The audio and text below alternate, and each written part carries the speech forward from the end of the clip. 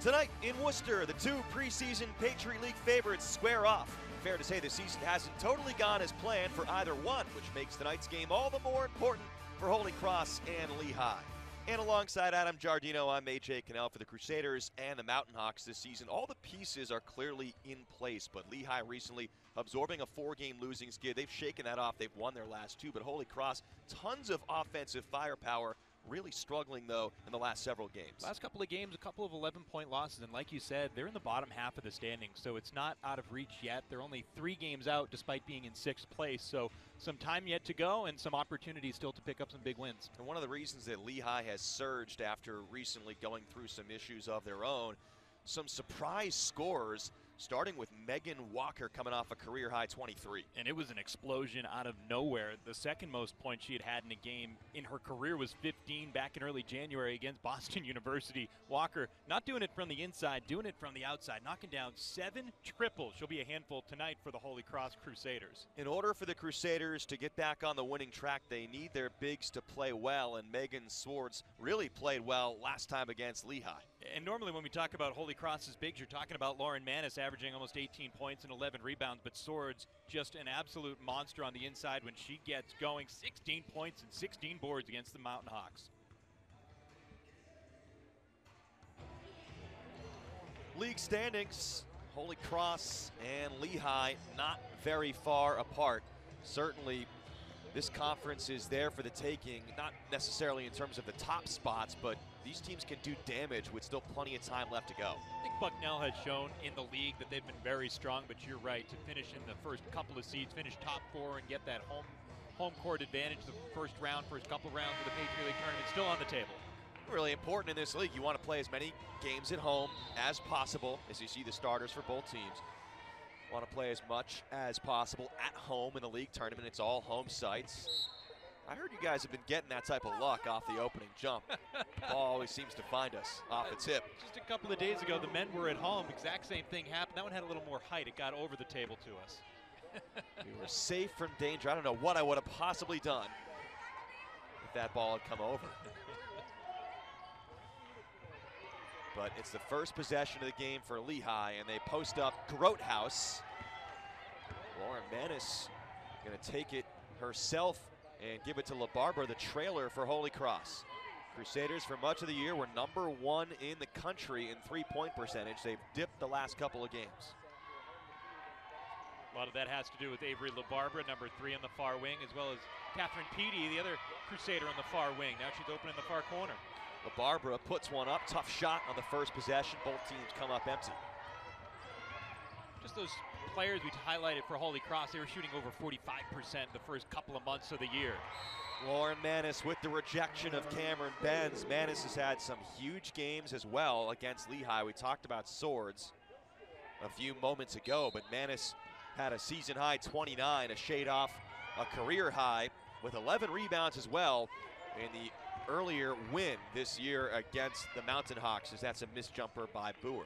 Between 29 points from her, 16 from Megan Swords, which we highlighted, 45 points from the post players. Those two need to play better than they have the last couple of games. That's key for the Crusaders to get back on track. They post up Swords here, tries to turn around, lost it, got it back, ripped away again. It's a tie-up. Cameron Boer forcing the arrow to flip, but it'll stay with Holy Cross. Such great defense by Boer and the Mountain Hawks. It's a real handful for Megan Swords down there at 6'3", but they were able to reject that shot. Trying to go big to big passing, but Manis overshoots Swords.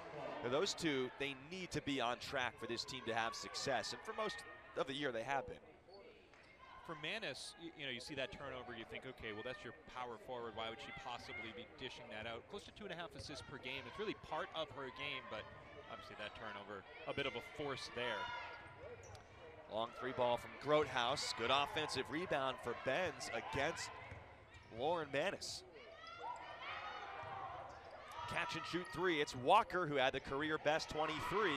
No that time, and a good job for Swords of sticking on her pivot foot. Yeah, I was just going to say, not just grabbing that rebound, but not traveling afterwards.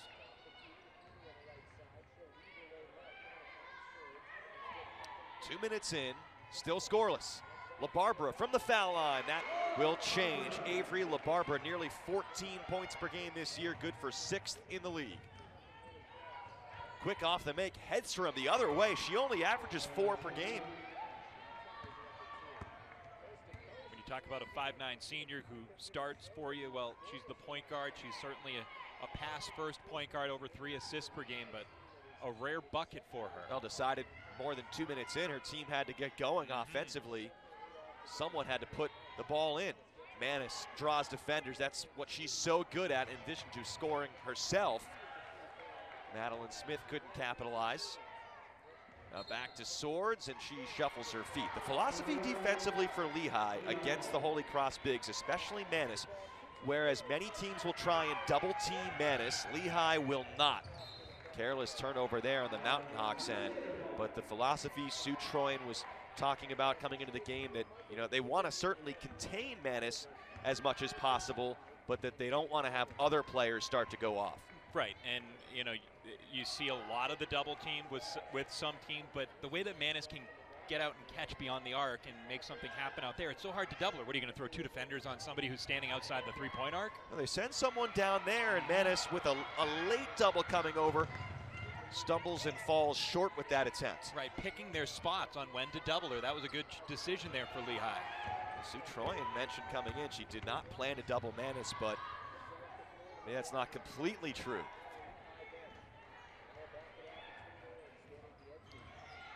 LaBarbera to Manis. That's the duo, point guard and the forward that has worked so well together. Manis is at the top of the league in three-point percentage, but misses there. Cameron Boer knocks over the Holy Cross defender Smith. Offensive foul. Madeline Smith brings that type of energy and hustle for this Holy Cross team. And you'll see that she sells it. There's a little bit of that that forearm and she's off balance, but that's one of those where I think she has to go down in order to sell the call to the official. And the contact was there, that forearm was there. As a defender, if she stays on her feet, that, that might not be as noticeable. You know, sticks the backward somersault landing though. The Summer Olympics coming up. LaBarbera with the head fake.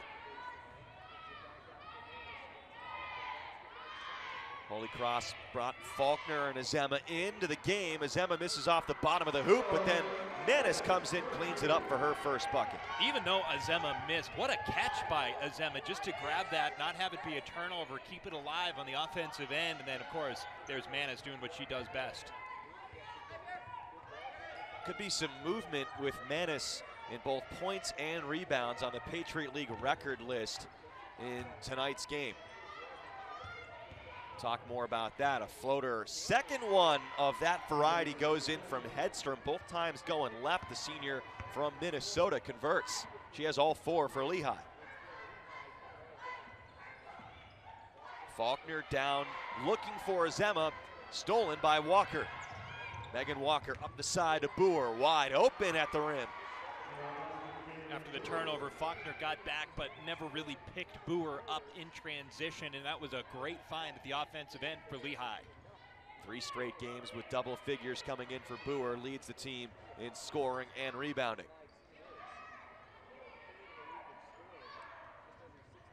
And the explosive Avery LaBarbera. Manis thought about it. Will drive, loop it down. Azema wild with the shot. Some looks down low early for Azema, just can't finish.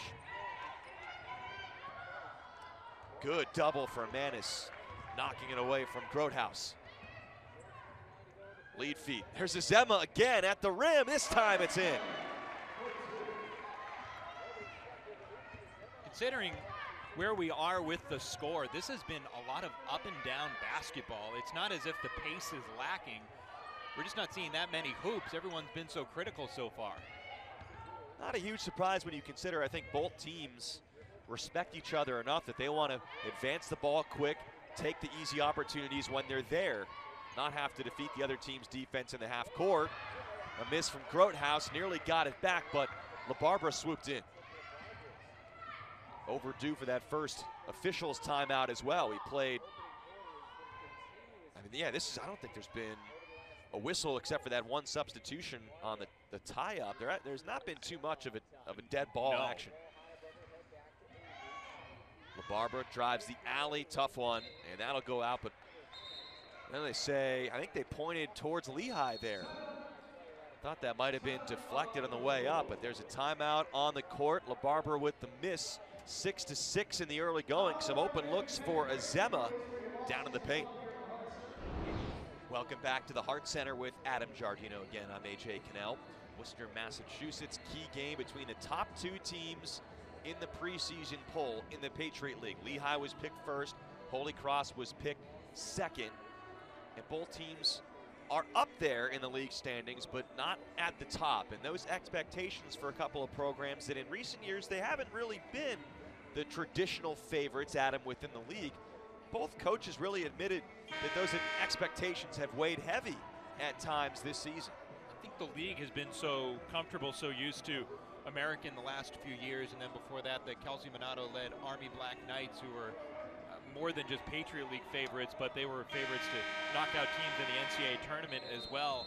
And, uh, you know, to, to have that changing of the guard the last couple of years, this is, especially for Holy Cross, such a senior led group that it's four years, and, well, this is where it's supposed to all come together for them, and I'm, and I'm sure that that expectation does rest heavy on their shoulders. It really is for both teams with the seniors. Mhm. Of the 10 available, 10 possible starters, seven are seniors between these two teams, four on the Holy Cross side. Who are off the mark for Lehigh. Both teams off to a cold start. Lehigh is 3 for 11, Holy Cross 3 for 10. But as you said, it's been up and down. Deep position there, and Swords can't make one. I mean, Holy Cross has gotten the ball deep in the paint, but Coach McInerney and McInerney, the interim head coach for Holy Cross, did praise the length and athleticism for Lehigh.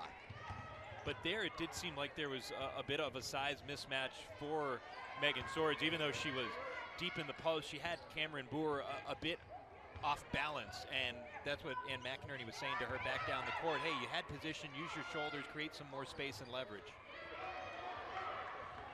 Freezing cold for both teams in the first quarter. Combined six of 22. That's 25%. That shot doesn't go. Offensive foul anyway.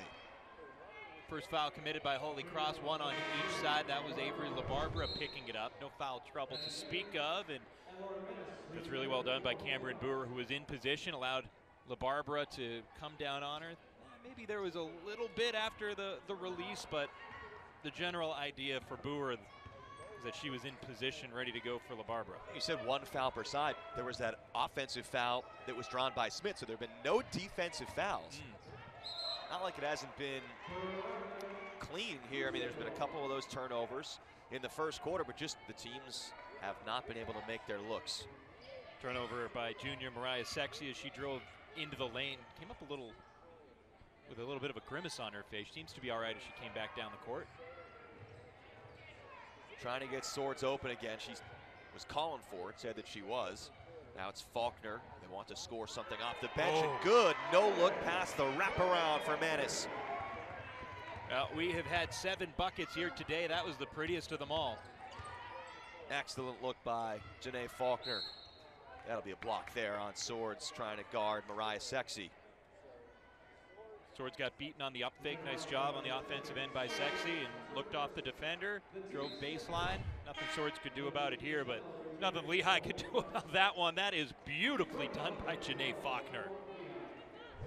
Lauren Manis, in her career, has scored 1,841 points, at least coming into the game. Gonna Might have a chance more. for some more here. Off and running. Was going to say, you won't find too much easier than the last bucket on that replay. Those might have been even easier for her. Required a little bit of speed. Don't expect someone at 6'1 to get into high gear like that and win that foot race down the court, but she certainly can. Made it look easy. Out of bounds last touch by Manis on the miss from Franny Hottinger. Lehigh play about 12 or 13 at times. You got to keep an eye out for who's in the game with this team. Coach Troyan talking about their depth, saying that's something that most teams in the league don't have. They want to play at a fast pace so they can take advantage of their depth. Missed jumper from Clockerties. It's mostly subs in the game right now for Lehigh. In fact, I think it's all subs in the game for Lehigh. They run deep. They go really deep into this bench 13, 14, 15 players at times. No call on the drive from Smith, finding Azema. Good bounce back after she missed her first couple. She now has four, and Holy Cross goes up by six. Mariah Sexy runs the floor, has her first two. Such a good answer by Lehigh, especially with how frustrated they are with the no call at the other end, thinking they had drawn the offensive foul. Holy Cross gets the bucket. They don't hang their heads, they just get down court. Even on made baskets, I mean, there was that first bucket from the point guard Hedstrom that came off of a make with her running. Lehigh looking to push the pace. Madeline Smith with six on the timer. dumped down to Azema. Tough angle there. She tried to contort her body on the good look from Manis. But another great catch by Azema. That high-low really is working with her. Using her a lot in the first quarter. Clockerty, no. Time winding down. The whistle comes in for a tie-up, and Lehigh will have a chance to inbound from the baseline with 2.5 to go in the first. Cameron Boer, their top scorer, comes back in for Gina Grundhofer. And Megan Arapray also into the game for Mariah Sexy. Addison Cross checks in defensively for Catherine Peaty, and here comes Megan Swords as well, getting a little size in there for Janae Faulkner. The chess match going on late in the first quarter. I stand corrected. It's Swords going in for Lauren Manis. Janae Faulkner has blood on her jersey, or at least something on her uniform that they're requiring a little work over there with alcohol prep pad on her shorts. See her over there in the corner getting worked on just off the bench with her athletic trainer. Hopefully that gets sorted out. While they tended to Faulkner, that gave some time for Lehigh to bring in another sub. Hannah Hedstrom also into the game. And now Holy Cross is going to send Nicole Morris into the game, maybe. Faulkner wanted to stay in, but she cannot, so Morris will come in. There's a record number of substitutions, it felt like, in what could be for nothing, and that's, well, Holy Cross gets a nice stop out of it, I guess. That'll do it for the first quarter. Both teams began the quarter struggling a bit offensively. We know that both are capable of really piling up the points. Fast-paced first quarter, though, and Holy Cross leads 12 to 8 at the end of the first. Earlier this season on January 22nd at Stabler Arena, there was a really cute dog there, so that was great. But other than that, for Lehigh, not much to love. Holy Cross 20 to 7 in the second quarter. Adam, as the second quarter begins here in the Hart Center. Yeah, as we take a look at what Holy Cross was able to do, put 20 points up, as you mentioned, AJ. Well, here in Worcester, if Holy Cross goes on some sort of run similar to that, you know, Holy Crusaders are already plus four in this game. Lehigh can't afford to fall behind by that kind of tally at halftime. Lehigh starts out in zone, and that forces an air ball miss from Swords.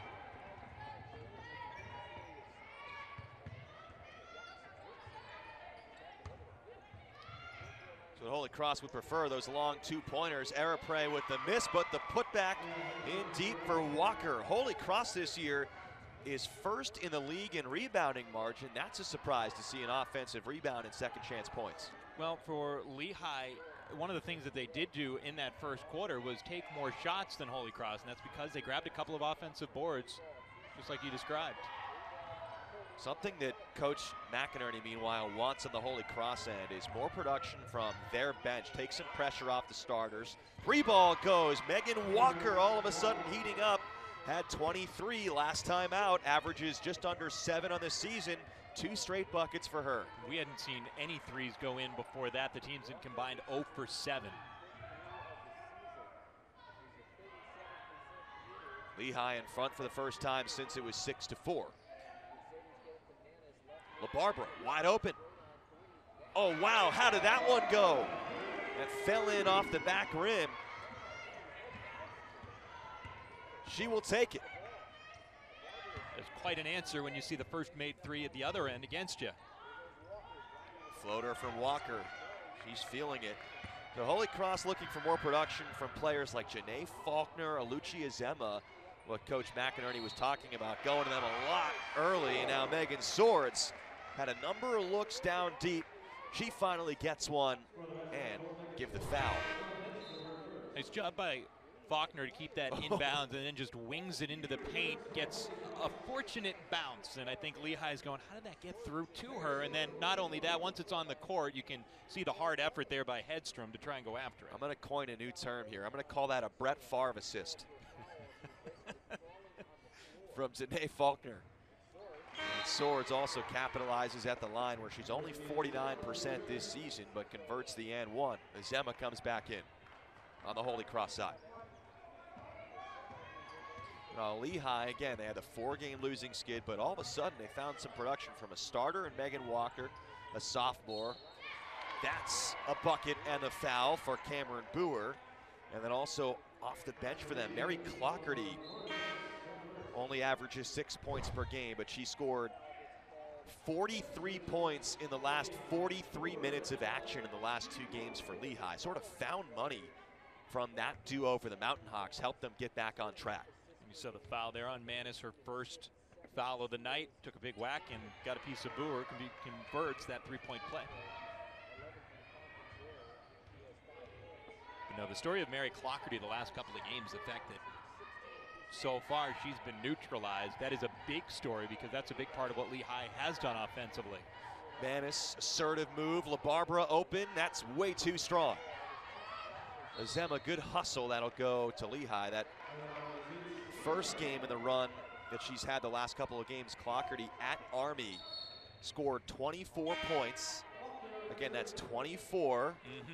Six days after the terrible, tragic, horrific helicopter crash that we've all talked about, digested, that killed Kobe Bryant and nine people total. Uh, she said after that game, Clockerty is that's a three in for Grothaus that she dedicated the 24 points to Gianna and Kobe. That was a new career high. That was the Army game. Lehigh by one. Corner three. Catherine Peaty, who is a sharpshooter for this team at 41%. Must be a gust of wind over there from the far corner. Yeah, that's back-to-back threes from just about the same spot for a pair of 40% plus shooters out there that didn't even catch iron. Barbara leads the team in threes made on the season. Gets the offense back in motion, five on the timer. Peaty knows she has to jack it. That one was a more difficult look, but closer. Oh, great rim run. Cameron Benz, transition two. Holy Cross not set up on defense. Timeout and McInerney. Lehigh up 21 to 18. Holy Cross with a strong first quarter. Avery LaBarbera with a much needed three. Okay, she'll take it.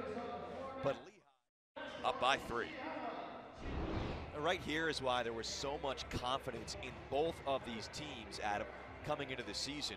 So much veteran experience on both rosters. Oh, no doubt. And for Holy Cross, obviously, Lauren Manis has been a big reason and part of their success. Cameron Benz, and uh, or rather, Cameron Boer for Lehigh has come in and she's answered the bell this year with 12 points and seven rebounds a game herself. She's got five points matching the team lead for Lehigh in the early going, so she's really stepped up. And boy, Lehigh as a whole, they've stepped up with an 8 0 run over the last minute 24. That's a quick 8 0. Mm.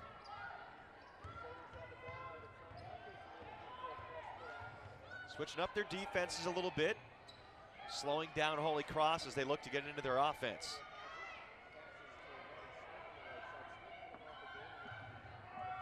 Crusaders still number 13 in the country in three-point percentage for much of the year. They were first.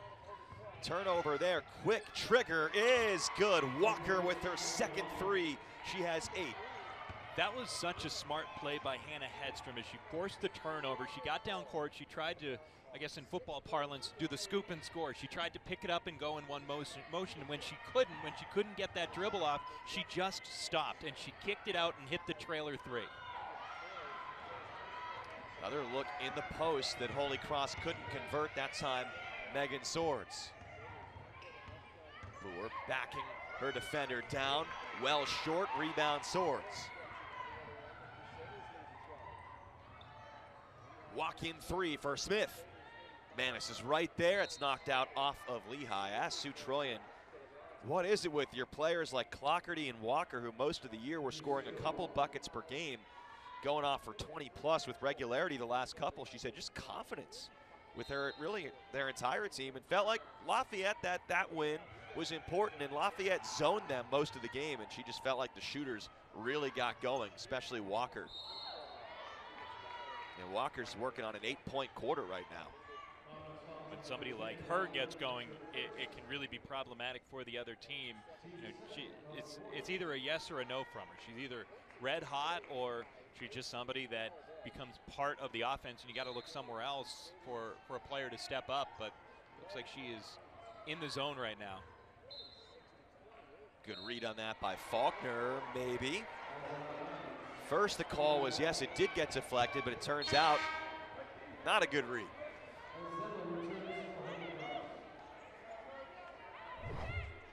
Here's a look. And to me, that's a deflection there. It looked like it. Yeah. Corner three, that's good. Cameron Benz.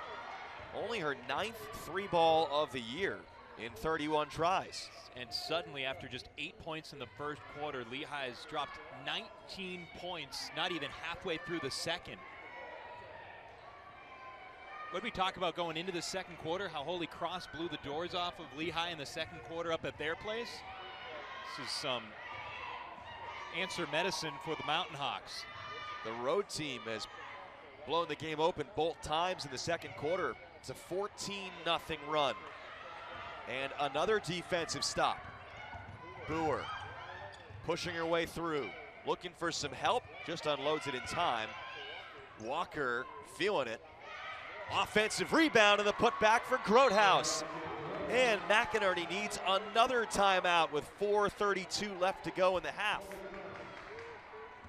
That is some run still for Lehigh. They continue to just blow the doors off of Holy Cross. It was a five point deficit for Lehigh before they went on this run.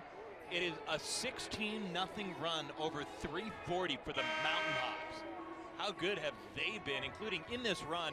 They've knocked down four of five three pointers. Doesn't even feel like they've missed any shots during this run. It's really both teams. It makes you scratch your head because Holy Cross, for most of the year, had been the best three point shooting team in the entire country. I'm to see a look there at Boers and one, and they started to get hot from deep. Good rim run mm-hmm. from Grothaus. And then this is the play that I love. Watch her not be able to pick it up, so she slams on the brakes and then kicks it out and drills the three rather than trying to force something inside. Crusaders, though, just 23% from three in their last four.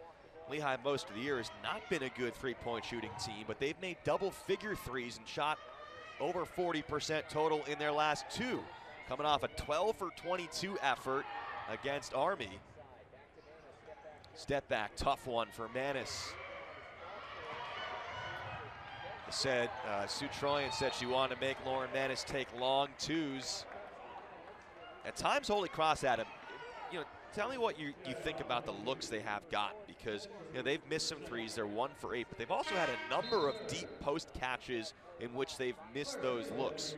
Yeah, the offense is probably executing not too far off from where they'd like considering you're shooting just barely 30% in the game, I, I, think you like the looks you're getting. And on a normal night, you're probably not one for eight. You're probably three of eight if you're the Holy Cross Crusaders, maybe four of eight, and all of a sudden that's a tie game.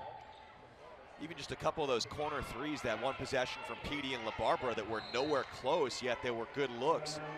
As that's just a lost possession as Lucia Zema had that go out of her left hand out of bounds.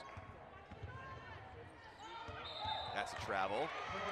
Roadhouse was thinking about the three, then thought further about it as she's only five for 21 this season from deep.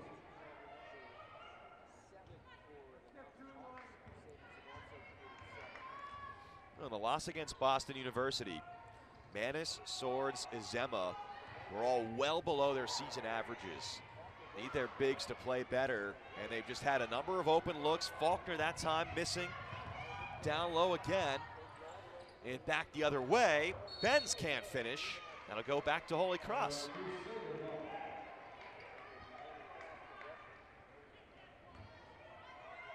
The Manis Swords Azema trio combined for 22 points and 11 rebounds last game. They averaged 34 and 24.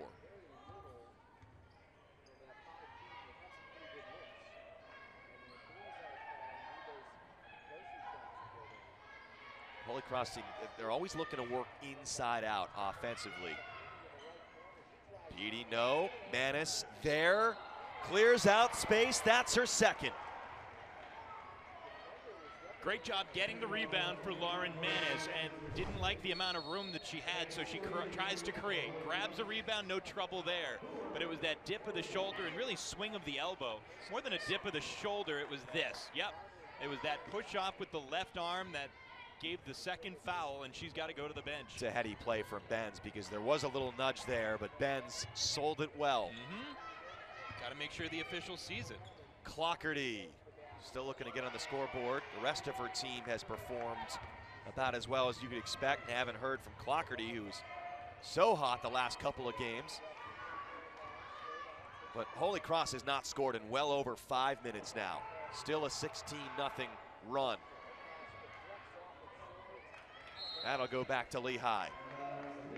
Not only is the offense not working in terms of executing and finishing shots, but you're having more and more turnovers now if you're the Holy Cross Crusaders, including an unforced turnover like that one.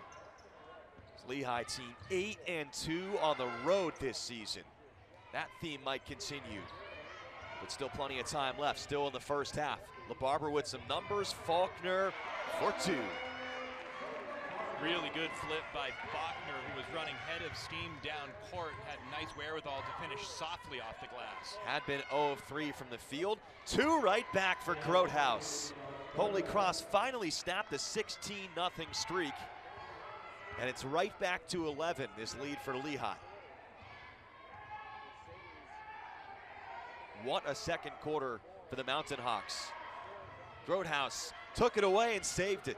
Job tracking it down lead feed. That's snatched down low. Good catch from Hottinger. Ultimately sets up what is a bad miss from deep for Groothuis. LaBarbera, no numbers, but a nice ball fake. Gets knocked down, no call. Lehigh a chance to run again. That's last touched by the Crusaders on Franny Hottinger's drive. Coach McInerney is going to send a couple of subs in. Maddie Smith, Addison Cross, and now Shannon Murphy making just her 12th appearance of the year. Will come in four and a half minutes per game for Murphy. Give her a little bit of run. Get Megan Swords off the court. And so if you're Lehigh, all the damage, 45 points last time out. When you faced Holy Cross, Megan Swords and Lauren Manis, you're going to get about 90 seconds without either of them on the court. And so that allows for plays like that. Clockerty, easy move inside.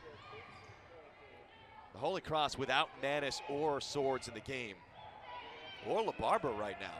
I mean, that's a lot that's not out there, and that's an offensive foul on Oluchi Azema. A couple of offensive fouls in quick succession for Holy Cross, and we're going to look at it here. Lowered that shoulder and the perfect timing on Benz. Uh, you know, for me, it felt like an offensive foul. The way you looked at it on replay and slowed it down, it didn't look like it was as clear of an offensive foul, but in real time, it looked like Azema created that contact, wanted to drive to the hoop, and that Benz was in good enough position to get that call for her team. There's definitely a little bit of a misconception about that you have to be in always that perfect position in order to get that call. Clockerty, all of a sudden, she's answered the call, made a couple of buckets, including the three. And that's last touch by Holy Cross. Well, pardon me. That the, the official there signaled that it was yeah, off of Holy Cross, but there is no way that Carmen Portavial just pointed the wrong way and then yeah. quickly corrected herself. When everything's going Lehigh's way, Holy Cross is thinking, no, no, not this too. And McInerney made sure that they got the call flipped. LaBarbera back into the game.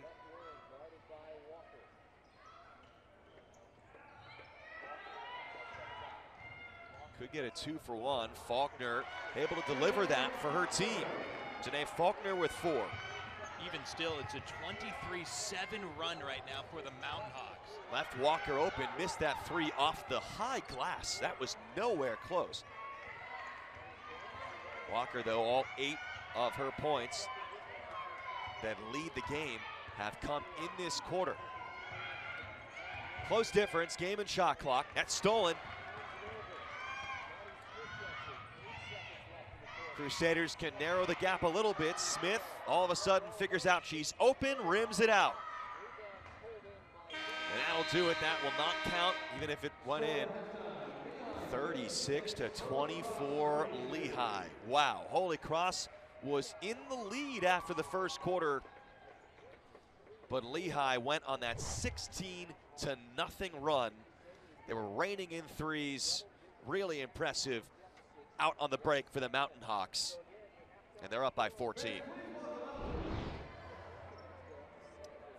Halftime in the Hart Center, getting ready for the start of the second half shortly. Holy Cross started out, Adam, really well. We'll see Lehigh, though, as they, they came came back pretty quickly to start the second quarter. Good looks, though, early for Manis and company. Yeah, Manis had six points, all of them coming in that first quarter. The Crusaders took a 12-8 lead, and then the script was totally flipped. Swords gets the bucket, the and one, and that was just about it for the scoring in that first half for Holy Cross. And it was all Lehigh. They closed the half out on an incredible run. They finished on a 23 to 5 run over the last 8 minutes and 12 seconds. So basically, that's the entire second quarter. They did it inside, they did it outside, missed their first four threes of the night. Then they were five of nine in that second quarter. Even in transition, they'll still kick it out for the trailer. Everything was going right for Lehigh in that second quarter, outscoring the Crusaders 28 to 10. If you're Holy Cross, head coach Ann McInerney, now you take a look at the at what the numbers showed up as in those free throws. Both teams were just one for one uh, in the first half, but Holy Cross now in the last game and a half, two of 23 from three, and the Crusaders normally even so good rebounding the basketball at plus five per game. Even in that category, having trouble. If you're Ann McInerney and that Holy Cross bench, where do you go from here? They were picked second in the preseason poll. They have all these upperclassmen on the roster.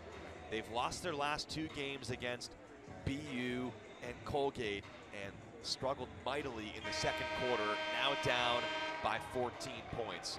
Where do you go from here? For me, if you're Holy Cross, you're one of nine from three there's nothing you can do about that except trust that you're going to make your shots in the second half. And I think we discussed how Holy Cross was working its offense really well in that first half. The shots just weren't falling. The number that jumps out to me, the transition points, 12-4 fast break points in favor of Lehigh. That's something you can control if you're Holy Cross. Get back on defense even if you miss a bucket and make sure that the Mountain Hawks don't get don't get easy points the other way. I think can control and need to control. That's a half court two or based on half court offense, a two that goes in for Boer. But for the most part, it was fast break points for Lehigh. And that's the pace that Lehigh wants to play. They want to control the game, use their depth, and run. Holy Cross does not have as much as far as depth is concerned. They probably, in comparison to Lehigh, want to try and slow it down a little bit. Crusaders did not get too many calls in the first 20 minutes. So they're happy to see one with Manis getting fouled in that initial possession in the second half. Yeah, here we are 20 minutes and change into this game, and we've had only 10 combined foul calls now. It's been evenly called both ways. Clock ticking down again, and Madeline Smith travels. Ever since Lehigh switched to zone to begin the second quarter, things have not been the same offensively for Holy Cross. No, and you could see Smith with that jab step and then tries to free herself up. If it works, it's the right idea, but you, you just got to make that move with the dribble or make that move before you actually catch the ball. Hedstrom a nice crossover. Offensive rebound on the weak side for Benz and the extra two. It's a game high 18 point lead for the Mountain Hawks.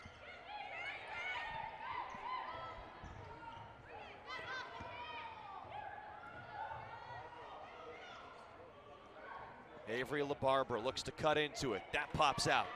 The Crusaders continue to be ice cold from deep, one of 10. Those are the kind of shots when you're down 18 points in the second half, even with still a ton of time remaining. Those are ones that you need to start seeing go in. Cameron Benz, two more, and against Manis to boot. Now even Lehigh dominating points in the paint, which is, again, the area that we talked about. Holy Cross, the team that has the two great post players. Lehigh just doing it every which way right, right now. Manis, difficult shot. Swords there, but then got knocked out of bounds. No call, just called for having her foot on the end line. Two subs quickly come in. It's Faulkner and Azema. Take a look at this. Yeah, she's saying that, hey, I got bumped by Megan Walker. She's exactly right there. That was a missed call, a little bit of a hip check on, on a player who had been beaten to the spot. Right, she had the ball. Mm-hmm. That doesn't seem quite fair that she had the ball in her arms, gets nudged out like that. More than nudged. Tried to go underneath Manis, did Grothaus, came up short. Manis takes matters into her own hands, now dishes off for Faulkner. Probably wanted to, would have been better off passing that one. But keeps her head in the play, knocked it loose. Loose ball to Grothaus, open three for Walker. Offensive rebound, Benz was close.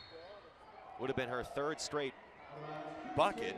Out of bounds to the Crusaders instead.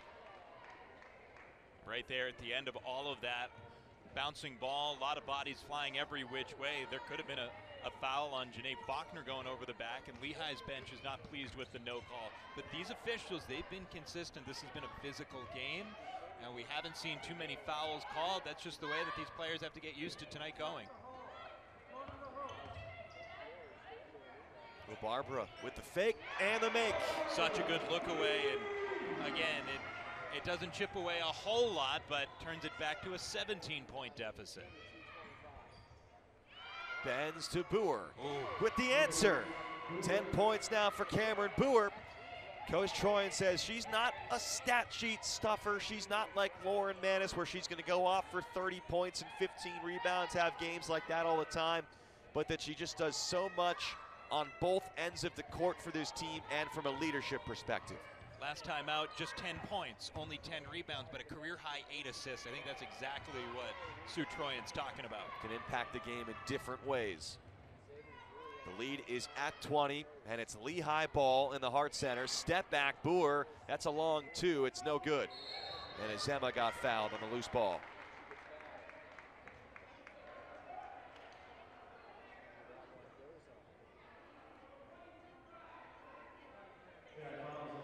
Crusaders get a substitution into the game. Megan Swords, Catherine Peaty checks in. Claire Steele comes off the bench for Lehigh as Anna Hedstrom gets a breather. Well, it's a breather by necessity. Oh. That's her third personal foul. The rest of the team combined has three for Lehigh. We talked about how Manis picked up her second late in the first half. She still has the two. That's going the other way. Azema tried to follow her own shot and just ran over, over Cameron Boer. What does Holy Cross have to do against this zone to start executing? Make some shots from the outside. That will force Lehigh to adjust, but until you start doing that, you're not going to really chip away at this 20-point deficit either seems like it's taking away to a certain extent the dominance of a player like Manis. And the fact that she's got to be on the bench right now. Jump ball call. Yeah, Manis plays 32 minutes a game, so she has to get her rest in. Occasionally is in foul trouble as well, and that is part of it. They really, you rarely see her play, you know, 39, 40 minutes because they're usually trying to keep her out of foul trouble as much as possible with 48 seconds to go before we hit that under five media timeout window. This is as good a time as ever just to get her the breather, get her the extended commercial timeout rest as well, and then bring her back out. And not a kick ball there. They reach in on Faulkner. I think the explanation that comes from Michael DeCudo is that it wasn't an intentional kick, but you rarely see that distinction, and that I think that qualifies as a kickball looking back at that replay. I do too, and just you can see the little flick of the foot, again, intentional or not, extending your base to go out and get a piece of that basketball. That's that's called 100% of the time. Yeah.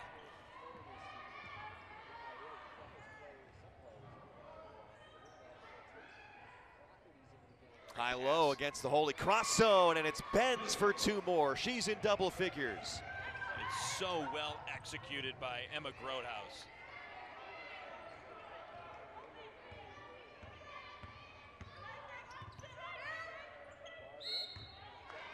Foul down low on Groothuis.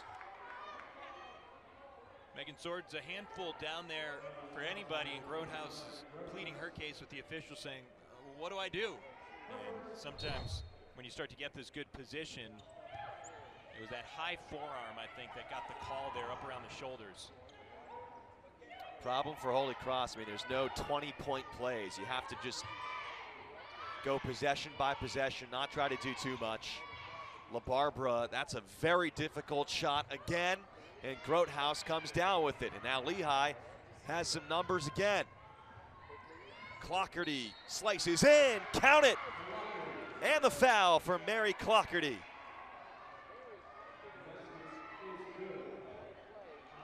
Lehigh in cruise control against Holy Cross, all over the Crusaders starting in that second quarter, and it's only continued into the third. A 49 to 25 advantage. Latest two come from Clockerty, and she has a chance to go to the foul line. And normally this is a strength, Adam, for Holy Cross. The rebounding edge has been there all year for the Crusaders. Not so much tonight. Plus six, 30 to 24 advantage for Lehigh on the glass, and that exists on the offensive glass as well. Of the 30 boards pulled down by the Mountain Hawks, nine of them have been offensive, and from nine offensive rebounds, you get six second chance points. Just every facet here tonight, Lehigh has done a better job than Holy Cross. Do want to credit Lauren Manis as much as this game has gone awry for the Crusaders with six rebounds. Manis has passed Army's Madison Hovren officially for third all-time in Patriot League history in career rebounds, 1,093. By the time her career is done, Laura Manis might very well be a 2,000 point, 1,000 rebound player which would be the first in program history, men's or women's. No one's ever reached those plateau numbers here in the storied history of Holy Cross men's and women's basketball. Manis grabs one more there. That's her seventh. Got some rest before the media timeout. 49-25, largest lead for the Mountain Hawks. Even got Kelly Petro in the game now to try to mix things up for Holy Cross. They get LaBarbera open. Splash. That's her second three since halftime. She has 11. She's three of five for the game from distance. Just four of 10, albeit overall. Clougherty playing with some confidence off the mark. Coach McInerney says when LaBarbera gets going, it can really help the whole team play with more energy and swagger. And it's a good slicing move from Madeline Smith to get herself a trip to the free throw line. Created that contact initiated with Cameron Boer, who picks up her second. I say that's in line with everything we've seen called here today. Lucia Zema checks back in for Holy Cross for Megan Sword. Azema has three fouls. We see on the opposite side, Hannah Hedstrom only or has three fouls as well, but she's on the bench, so Lehigh doing a better job of protecting her. When you've got a 20-point lead, you can protect a player. When you when you're down 20, you got to put Azema back out there. If Coach McInerney feels she wants Azema in the game. You're down by 20, got to be out there. Smith one for two at the line. The lead has been cut to 20 after a high water mark of 24. AJ Cannell, Adam Giardino with you on NESN for what is a key Patriot League women's basketball game on a Wednesday evening. Holy Cross came in picked second in the league this year in the preseason they start four seniors plus the phenom sophomore Avery LaBarbera. But the Crusaders have lost their last two, three out of the last four, despite beating Boston College earlier in non-conference play. Being in line for a great season, still a chance for that to materialize, but the Crusaders have been mired in struggles as of late. That has continued tonight. And that's two more for Ben slipping in underneath. Being totally unaffected by the presence of Lauren Manis, just went right through her on the glass. The putback. Crusaders can ill afford to fall further down in the standings. They're at six and five right now in sixth entering the night. Manis has really improved her long range game, knocks down a three, always had the ability, but this year converting with extreme consistency. First in the conference, 46%. And it's it is consistency. It's not always volume. It's just picking the right spots to do it. The pace that Lehigh plays, there's going to be ton of, uh, plenty of possessions left to go. Manis, good footwork, just coming up short. Offensive rebound as Emma walk up three. LaBarbera. Crusader bench starting to feel it. 23 point deficit, now 16. And that's out of bounds. Clougherty couldn't keep it in. LaBarbera, by the way, has four threes all of a sudden, including three in the quarter. She can heat it up so quickly. Larger 10-2 run right now for Holy Cross, a 6-0 run, but part of a larger 10-2 run over the last two minutes, six seconds. You fight for the offensive rebound, you kick it out. LaBarbera, she followed her shot, wasn't totally sure that it was gonna go in, but bottom of the bucket. Just playing it safe, following her own look. Doesn't hurt. Lead down to 16.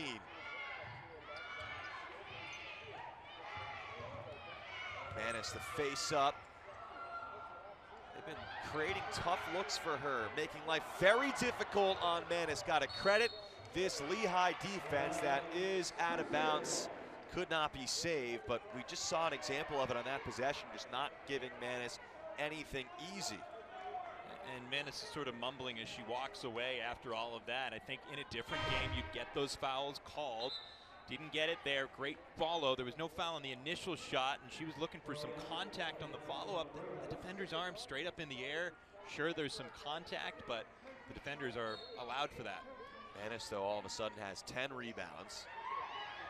She's a point shy of a double-double despite struggling from the field. Now 11 rebounds, and that's a foul on Cameron Boer.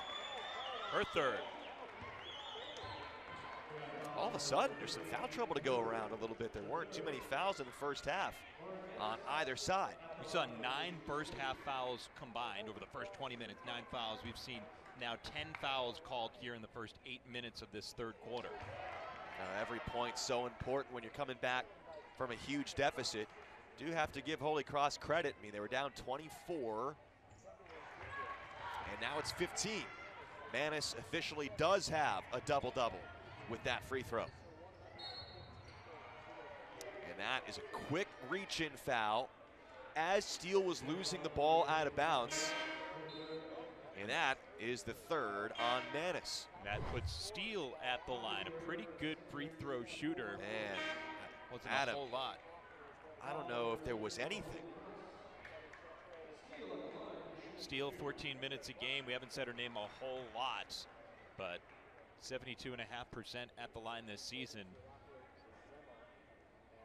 Yeah, there really didn't seem to be a whole lot there on that replay. It, it becomes a lot easier to officiate the game when we can slow mo it down and take a look at the calls after the fact. Right, when you see maybe a, a, hand resting on somebody's hip from behind and then you see the ball pop out, you think, well, cause and effect, but not always the case. That call, though, I don't know. Steele going one for two. Love to get Faulkner going, and Holy Cross is going to see their important substitute take a trip to the free throw line. That's something that Coach McInerney, though, referring to, I just referred to Faulkner as a sub as you see the replay of her getting foul with the this time the arm coming down a bit from Grothaus.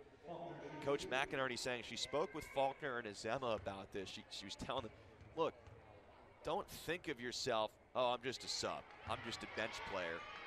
You're vital to this team. You need to come in and make a game-changing impact. Yeah, you're playing 26 to 30 minutes a night.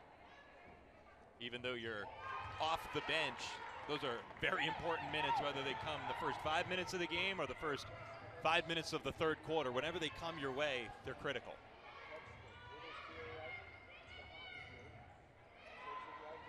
Hottinger gets held up, dumps it back out. Hedstrom creating for Benz. Always seems to be decisive out there. Offensive rebound, Grothaus. Been remarkable the number of opportunities Lehigh has had off of offensive boards, but this time it's three in the key. Grothaus didn't know what to do once she got the ball. Totally shut down by Kelly Petro defensively, where but we haven't talked a whole lot. Petro's played extended minutes here in this third quarter, was thrown in as a, a, spark plug. Let's get a change of pace. She's played seven minutes this season, and she's got four minutes here in this third quarter. Just her sixth appearance of the season. It's now a 13 point game, a lot closer than it's been for a long time. Grothaus, those long strides, and another whistle. Beats Azema off the dribble, and that is number four on Oluchi Azema. Both Swords and Manis were out of the game, so it was left to Azema to protect the rim. She's going to have to take a seat now. The likelihood that you get free throws, you get the offensive possession, and not a whole lot happening at the other end. You bring Manis back in, even with her third foul, three fouls. Got to feel good for Petro, though, who just took a seat. Yeah. You get seven minutes all season, Adam, and then some important minutes as her team tries to claw back in this one.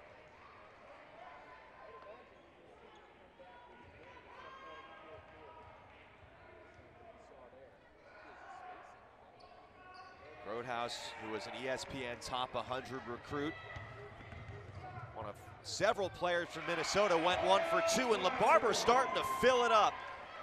Back-to-back -back bucket, she has 18, forces the turnover. Lehigh likes to get it quickly, even off the inbounds on a made basket. You'll see LaBarbera make it here, and then the Mountain Hawks, even with time on their side at the end of the third quarter, they just throw it away to the near corner.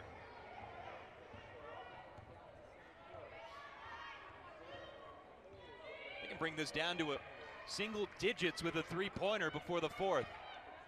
Makes sense, certainly to hold as long as they can, not give Lehigh a chance to counter. Now LaBarbera will start to set the offense in motion.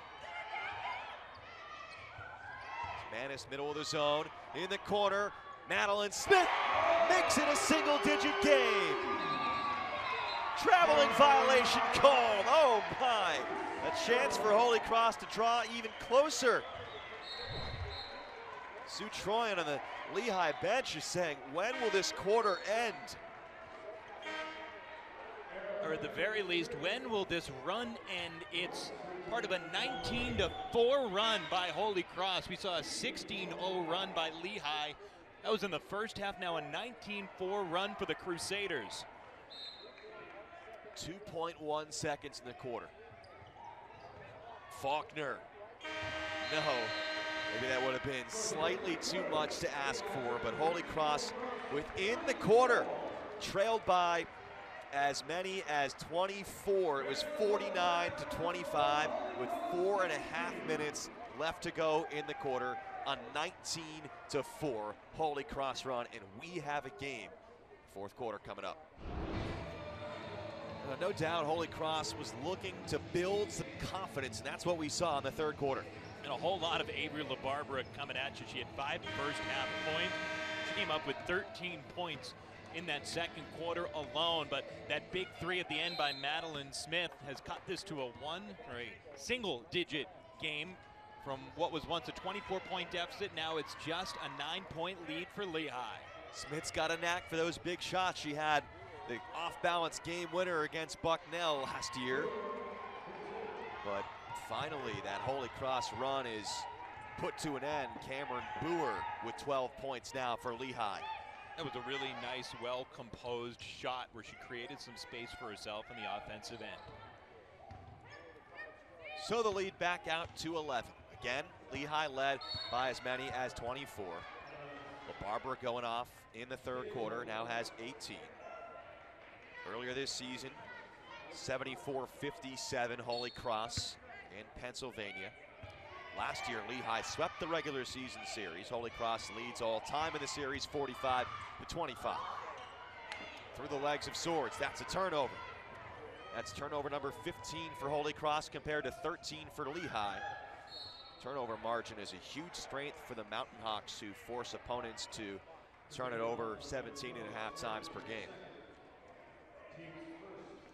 Foul on Madeline Smith. Turns around and all of a sudden Cameron Boer's right in her kitchen. Hello. Swords never saw it, but still helps force the turnover. LaBarbera, the drop off, Manis. Such good timing on releasing that pass just at the right moment to create the open look for Manis. Clougherty trying to answer back, cannot. Long rebound out to Faulkner. Nine point game. Faulkner with a beeline towards the paint. She's shown a bit of a knack for drawing contact. We'll go back to the free throw line. Knack for drawing contact, but not the strongest free throw shooter. Shoots it in the 60s. Here today, she's one for two at the line. She has five points coming into this trip to the free throw line. She has scored between six and eight in five straight games. So that could very well continue today. Got to credit her for consistency.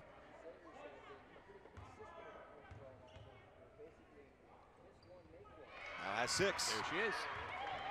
I don't think Crusaders would mind if she exploded for, say, four more points down the stretch here. They might need more than between six and eight mm. from her in order to come back and win this game.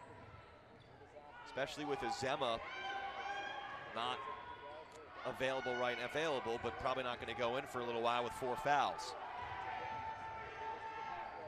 Clougherty. It's good. A deep three for Mary Clougherty, who has come alive over the last few for Lehigh.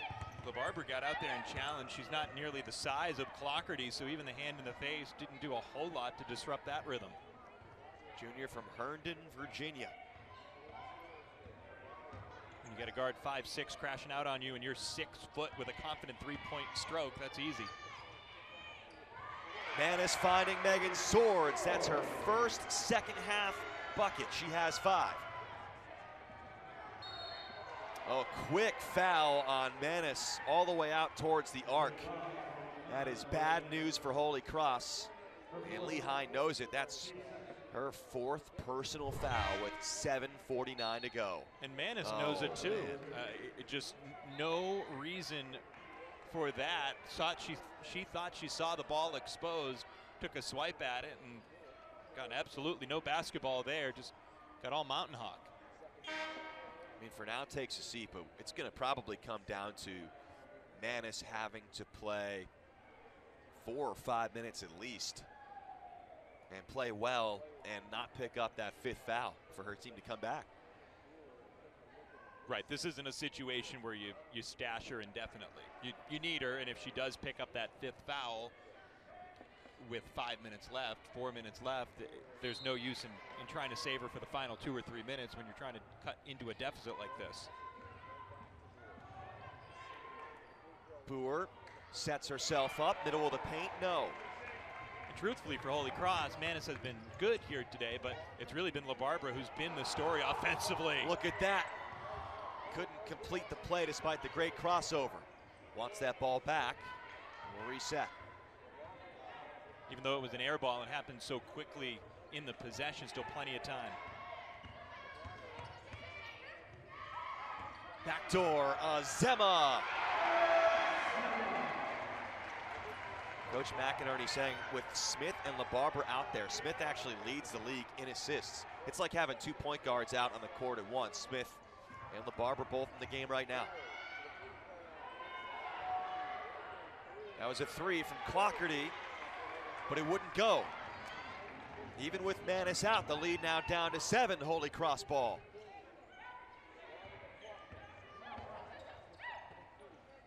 Amazing the way Holy Cross has responded after trailing by 24. Azema backdoor again, same cut, two plays in a row. The first time LaBarbera, now the assist from Smith. And it is Swords blocking Hedstrom down low. It's out of bounds off of Lehigh.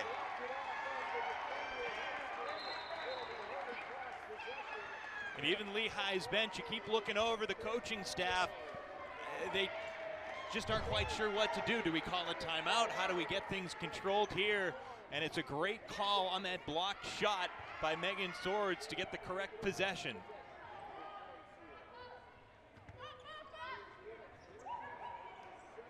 LaBarbera is open. Just short. Azema fighting. Lehigh see if they can get back and start running again. Could be the break that Lehigh needs to get some momentum back. That will not go for Cameron Benz. Lehigh scoreless in two and a half minutes. Seventh rebound for Swords in there without Manis on the floor. Holy Cross pulling closer without their top player, Lauren Manis. Good hustle from Swords. That's a foul. Has to be on Maddie Smith. Third on her, all of them coming in the second half, but with under six minutes to go in regulation, not worried about a guard having three fouls. Here's a look at the scramble. Thought there could have been a foul called on Swords, in fact, a little bit earlier in that exchange. Instead, they let it roll on a little bit and get Smith there. Got a whole bunch of substitutions coming in fast and furious for Holy Cross. Addison Cross is in, Catherine Peaty, Janae Faulkner with Swords and LaBarbera staying out on the court. It is interesting, though, the way that the Crusaders have kept competitive and been more than competitive, actually made some headway without Manis, takes some pressure off of Coach McInerney as far as when to bring Manis back in. But that'll complicate matters. Cameron Benz now at 16 points. She knocks down a three. It's such a steep mountain to climb when you're down 24 points that you make so much progress and then suddenly they make one three out of nowhere and it feels like you, you just got a punch in the gut. Lehigh needs a little bit more of that offensively. Any Lehigh bucket kind of feels like a dagger. Avery LaBarbera able to carve out some space and the 82% free throw shooter, best on the team, goes to the charity stripe. First two free throws of the night coming up for LaBarbera. It's about the only thing she has not done as that foul goes against Megan Walker. We talked about how it's like having two point guards out there at once, her and Smith. And they have a great relationship too. LaBarbera, sophomore, Smith, a senior. There's a rare free throw miss there for Avery.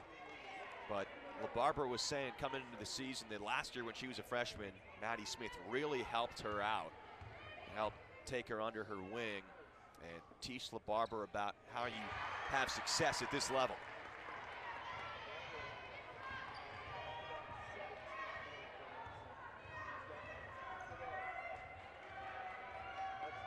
Still seems remarkable. This is a seven point game. Hedstrom to Benz, feeling it. Just rims out, great box out. And they're going to get Lehigh. Who's that going on? And they're giving it to Catherine Peaty. Wow. Yeah. I mean, I, I, thought that was a pure and simple box out from Peaty. They say the foul goes on her. That's going to take us to a timeout. Holy Cross on the comeback trail. LaBarbera, backdoor to Azema. It's like having two point guards. There's Smith, same look, backdoor to Azema. But a dagger three from Cameron Benz creates some more separation for Lehigh. Welcome back.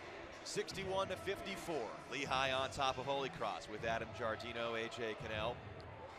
With 4.58 left to go in the game. Here's what we had coming into the timeout. What do you see? Well, Catherine Peaty's trying to box out a player bigger than her. And I, I think looking at the replay, I understand it slightly more. They felt like there was already some position there, that there was some entitlement to that space from Hottinger. Uh, end of the day, Megan Walker grabs that rebound offensively and probably goes up for an easy two. End of the day, it's stolen away by Smith anyway. Faulkner in the corner for three, just off the mark. So with the empty possession for Lehigh, the foul called on Peaty probably works out to the advantage of Right. Holy Cross anyway. Uh, makes sense. Although that is the 14th foul in the quarter. That was their final one to give. Shot clock down to six. Seemed like a lot of steps there. Shot wouldn't go. Hottinger gets it back, throws it off the bottom of the rim, still diving, looking to call timeout, and they are awarded timeout. Possession felt like it had nine lives, at least three or four for Lehigh. The ball kept on finding Franny Hottinger. And so it remains a seven point game. Lehigh 61, Holy Cross 54. Certainly covered the fact that Lehigh was up by 24. Holy Cross able to come most of the way back, getting within five. And now with 4.12 left to go, what's the recipe for the Crusaders the rest of the way? They're still going to need some three pointers knocked down, and maybe it's not going to be Avery LaBarbera who does it. She did so much work individually in that sec in that third quarter, part of the comeback. That now here we are in the fourth. It's going to require a little bit more work. But at the end of the day, if you're Lehigh, as much as you feel like the game has been slipping away, you've got a seven-point lead with four minutes to go, and uh, in under normal circumstances, I think you'd sign up for that. If you're Lehigh coming in here, they you said, hey. We'll give you a seven point lead with four minutes left. You okay with that? Mountain Hawks would have said absolutely. So, despite what this might feel like right now, things are in a little bit of a better spot for Lehigh than it, it might feel here at the Hart Center. Teams both are so talented, both top 115 RPI, both beat a power conference team during non-conference play. Grothaus, the whirling move, no, Manis flies in, gets decked.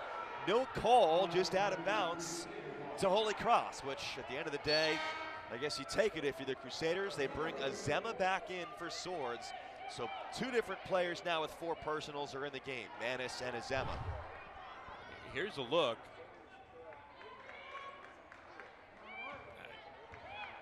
She certainly reacted like she got hit up high. A lot happened there really quickly with those hands flying in from Walker. Manis in traffic, count it, and the foul.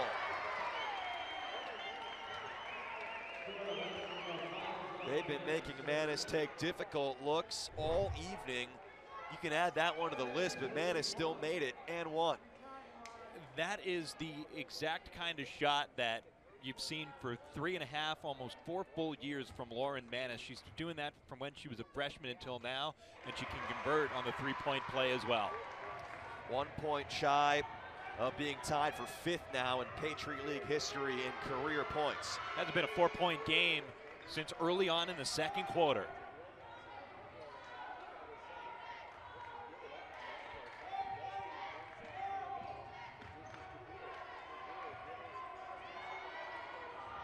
Holy Cross, last led, a little over two minutes into the second.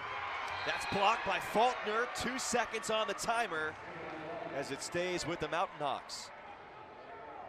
You're Lehigh, you got to draw up something good here. Empty possessions are one thing, but empty possessions without even getting clean looks, that's something entirely different. Holy Cross student section Yeah. starting to get into it a little bit. Lobbing it up for Benz, gets the shot off. No. LaBarbera falls down. It'll go to Lehigh. Lehigh excuse me, to Holy Cross. It almost felt like there, Adam, that Carmen Portavial kind of split the difference. Didn't call the foul, just pointed the arrow, gi- giving it back to Holy Cross. With under two minutes left, you'd probably review that and say, no, that's Lehigh ball, but you didn't want to call the foul, but there wasn't enough there. But certainly, LaBarbera didn't just happen to lose that ball out of bounds on her own. Manis to LaBarbera to make it a one-point game. Azema, what a play. Great hustle for Oluchi Azema.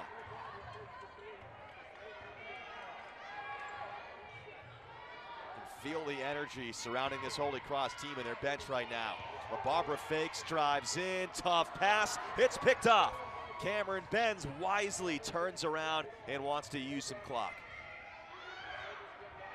It's hard if you're Lehigh. You're so used to being in top gear at all times that in a game like this where you've got a small lead, you need to milk clock 20 seconds down. You're not always used to working that 10 second offense.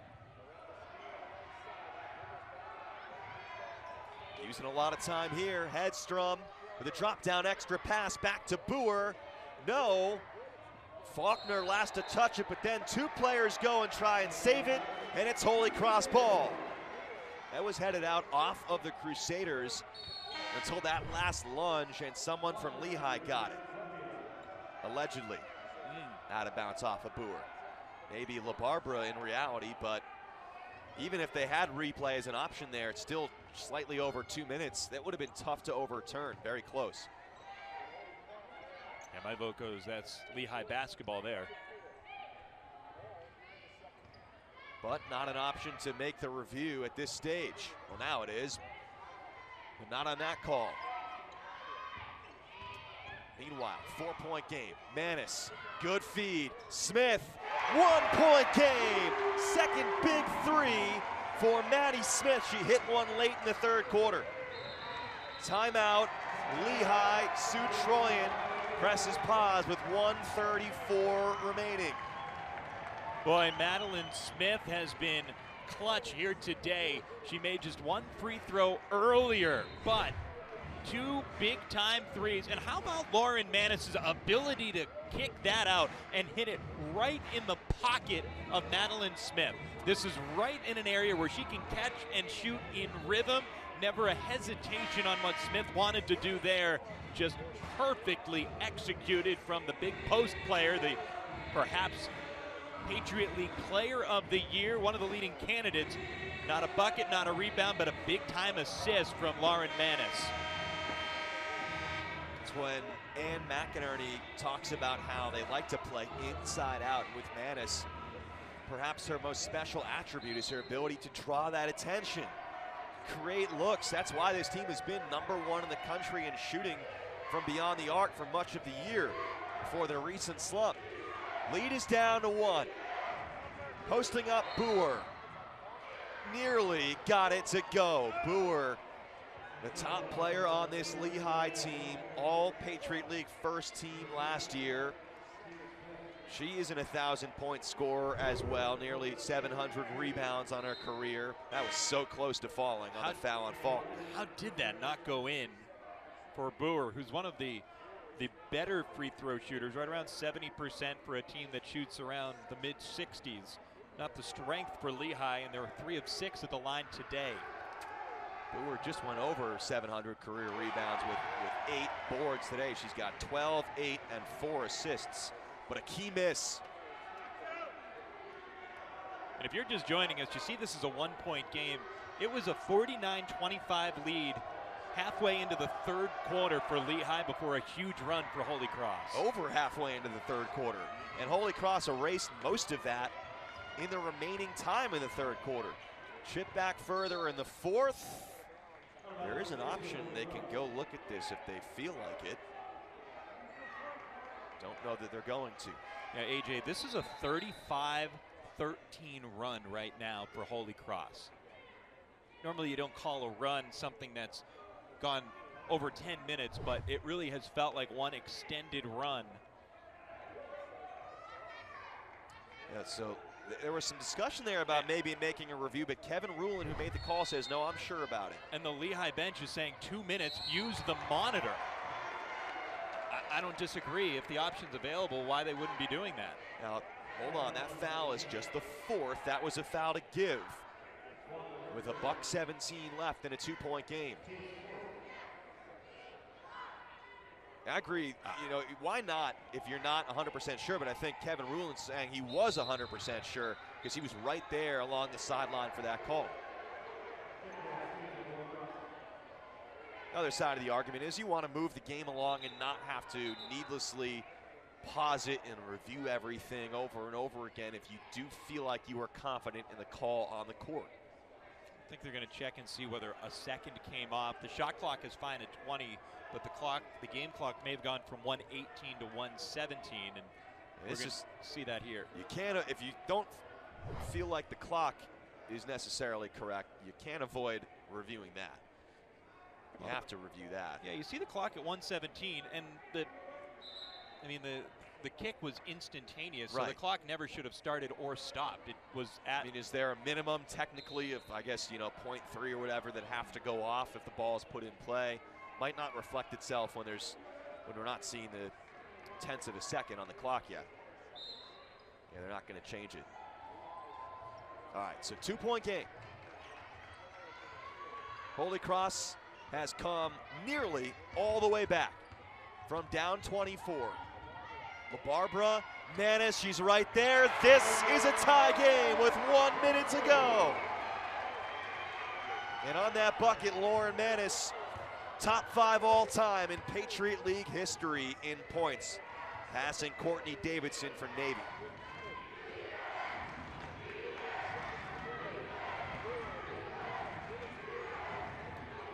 Boer draws two.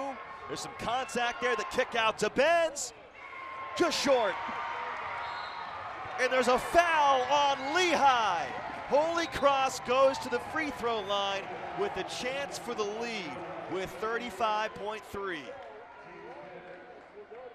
On this replay, look at Azema. She's got to back off defensively. Manis walks away with her hands pulled back. Both of those players on the court with four fouls. It results in a really clean look for Lehigh. They miss the three, and then the modest bump is what gives this opportunity for Lauren Manis and the Crusaders.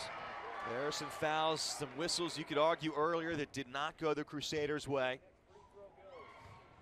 See things even out there. Manis takes the lead with the first, misses the second. That was the third personal, by the way, on Grothaus, and now Lehigh immediately calls timeout with a 63-62 Holy Cross lead. And that free throw for Lauren Manis gives Holy Cross its first lead since early on in the second quarter. It's been a long time coming for Holy Cross route to this comeback effort. It's just been a lot of Lauren Manis. We talked about how Avery LaBarbera had a huge hand in that third quarter run, and that maybe she didn't have enough left in the tank, that someone else would have to step up.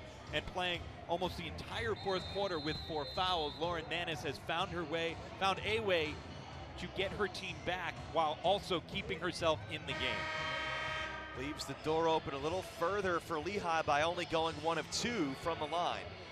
Now, what do you do if you're Lehigh? Where do you go? Just even mentally, where do you, what place do you go to after being up by 24? That is deflected into the arms of Hedstrom.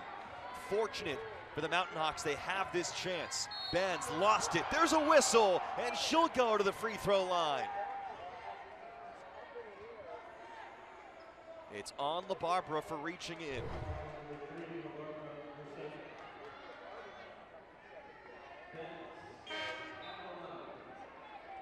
Just a little bit of the wrist wasn't totally clean. Hedstrom did just enough, or rather, it was Benz who did just enough to keep that ball on a yo-yo away from LaBarbera as she went for the strip.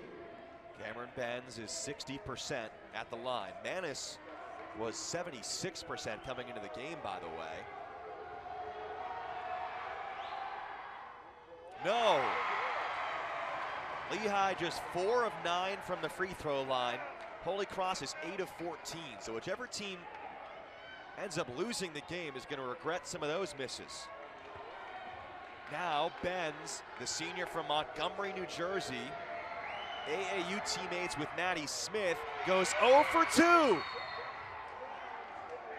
But it's off of Megan Swords. That's a huge development as well, though.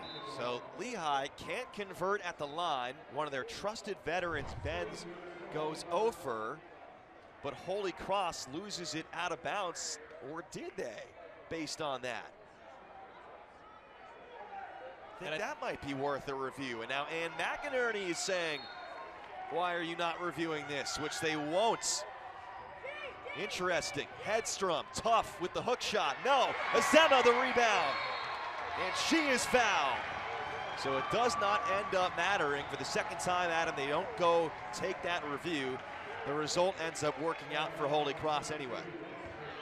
But all things considered, here's the miss on the running hook shot, doesn't go. But Oluchi Azema, for all that she can do on the court, she's been so strong 10 rebounds, looking for a couple of free throws to get herself to 10 points.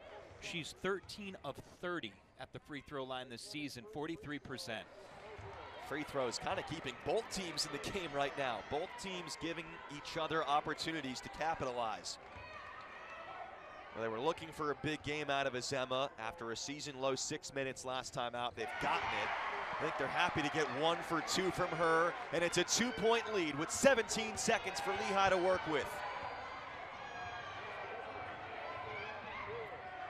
Boer gets inside. No, ball is loose. Azema's there with a hustle play, and there's a foul. It's going to send Faulkner back to the line. Should go against Clougherty. And who is there first to the loose ball after Boer couldn't make it? None other than Oluchi Azema again. Keeping it alive, and then even as it comes loose, just doing enough.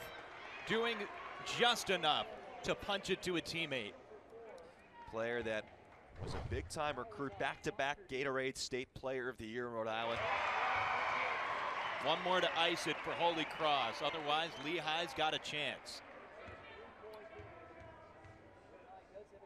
Faulkner 68%, misses it, immediate timeout as you would expect from Cameron Benz. So, you know, to finish on Azem, I know it's, I think there's been some ups and downs for her, and this must be feel so gratifying to have this type of impact and potentially a huge win. But now for Lehigh, they're given another opportunity, still down by a single possession with Holy Cross, yet again unable to ice it at the free throw line. They're going to come over and check the time it went on the from, replay monitor. It went from four to 3.1, and in my head, it needs to be more than that. It, it can be as high as 3.7, but I think they'll definitely add a couple of ticks here because no sooner did that rebound get grabbed by Cameron Benz was she immediately calling a timeout. I don't even know if she landed before she had called the timeout. As well as Holy Cross, though, has done during this comeback, Adam. They have not been able to clinch it at the foul line. They're now 10 of 18, and Lehigh, we know they're going to be looking for a three. Question is, if you're Holy Cross, can you foul without risking fouling a shooter? If you get a catch with somebody's back facing the basket near half court, something away, uh, anything other than that, I don't think you touch it. I think you just contest the shot because you're right, that is in an ideal world, but if you choose to foul at the wrong time and the player catching can, in one motion, just get a quick heave going, even if it's not a pretty shot, just get a shot off at the rim, then all of a sudden you've, you've made a critical error. For sure. So they go ahead, they've completed their review. They're going to leave the time on the clock, or they're going to add up to 3.7. Okay. No, it's it is 3.1. Yeah, they had said well, they were going to with the timeout, it's about when the call is recognized more so than when the player's calling it. Mm -hmm. That's the little wrinkle there. 3.1, Lehigh down by three. Clougherty for the tie. No, and Holy Cross climbs the mountain from 24 points down with a huge mid-February win inside the Hart Center defeating Lehigh 65 to 62. And AJ, not just down 24, but you're down 24 with just over 14 minutes to go. And that is a huge comeback with not a whole lot of time remaining for Holy Cross. Just a tremendous effort for the Crusaders, and you better believe they are all fired up. This Crusaders team has been looking for confidence. That's the word that Ann McInerney, their head coach, stressed coming into this game. They've lost their last two, picked second in the preseason, only six and five in league play coming in. How could they get back on track? They needed to build confidence, and down by 24, I would say Avery LaBarbera helped build some confidence for this group, for the entire team as they came all the way back from down 24 and beat Lehigh by three, 65 to 62. For Adam Giardino, our entire crew here at the College of the Holy Cross, I'm AJ Cannell saying so long from the Hart Center in Worcester. This was a real treat. Holy Cross comes all the way back and takes down Lehigh 65 to 62.